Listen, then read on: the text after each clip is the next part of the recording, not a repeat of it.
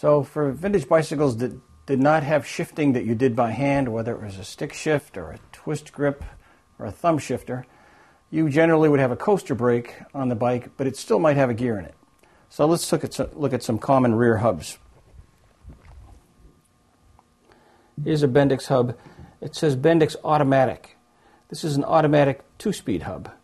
It does not have its hub shell on it, but you can see what's inside it. It's pretty complicated stuff, and these got gummed up a lot. Um, and some of them were successful, some of them were not, but they're still good to collect and they're interesting to take apart and rebuild.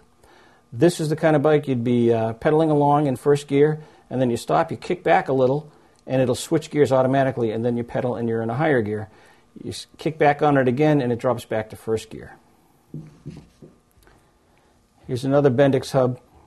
This is probably from the 30s because it still has an old oil port and it's got these nice looking fins. This hub would clean up very nicely and, and look good in a collection. It also has the skip tooth sprocket. If you look at the teeth on these two different sprockets, you can see the difference. And certainly, this is the older sprocket. There's a high flange, flange Bendix hub.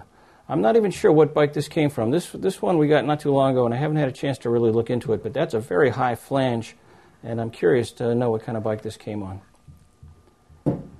And here's the hub shell of a standard three speed. Again, these hubs, made by Sturmey Archer, they have a two digit date code, which will help you identify the age of your bike.